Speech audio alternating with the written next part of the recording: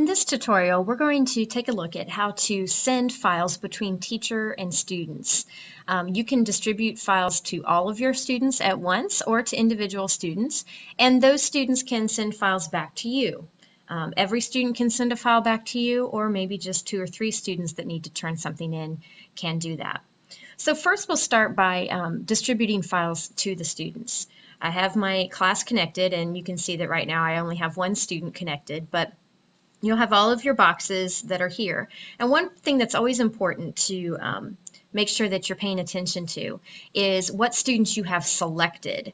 So right now I have no students selected and I can tell that because these places where their names are showing is white. If a student is selected, it'll be blue. So if I had just this student selected, whatever commands I give are going to only affect that student.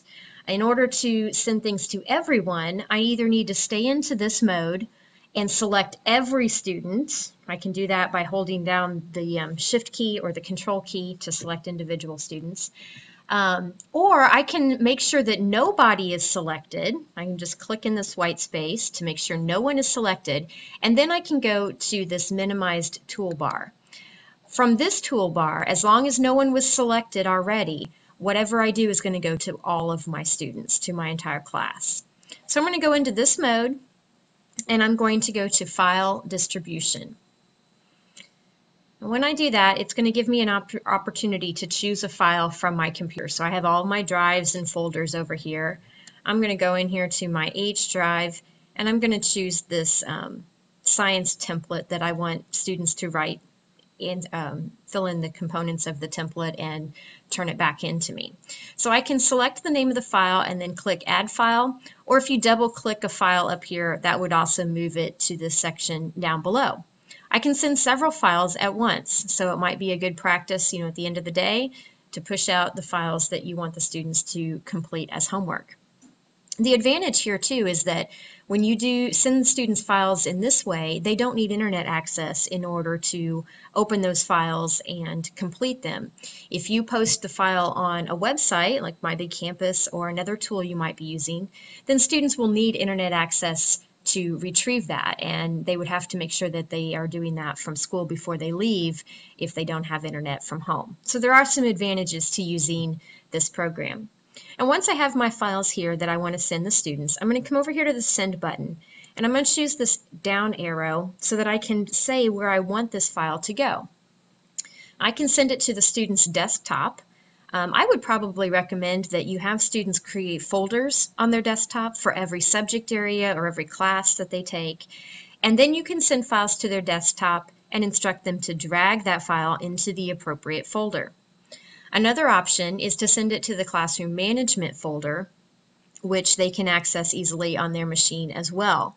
Um, but then the, all of their teachers' files would be mixed up together within that folder. So I'm going to um, send it to the classroom management folder because the desktop's pretty obvious. It's going to place the file on their desktop. But I'll send it to this one um, so that you can see what, what that would look like. So when I do that, it says waiting, and then it gave me a status bar, and now it says sent. So I know that my students should have received that file at this point in time. Now I'll have to create another video tutorial in order to show you the student side of this, but a white box pops up on the student machine and they can see the file loading into their computer. Um, and then it says finished when they have fully received that.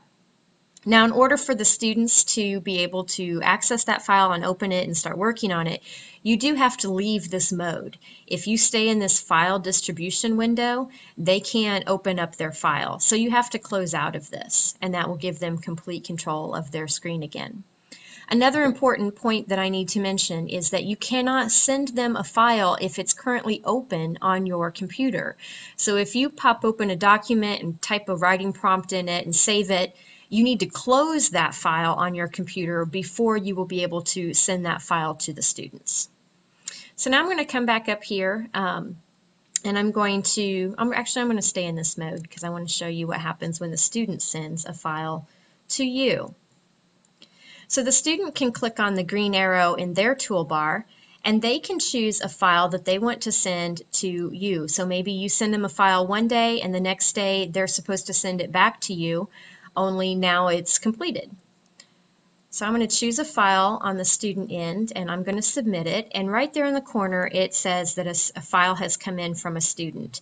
And I can click this to go into my full screen mode and see that file. But I'm also, that won't stay on there forever. So I'm also going to show you how to get to it from here. If I go back to my full version, I can go to File Collection. And you'll notice that when I clicked on that, it moved me to this lower tab right here as well. And here's the file that came in from the student, homework September 6th. I have to accept it before I actually have a copy of that. So when I accept all, that file has been loaded up here and I'm going to have a whole list of all the files that are coming into me. Once again, the student has to have the file closed on their computer before they can send it to you.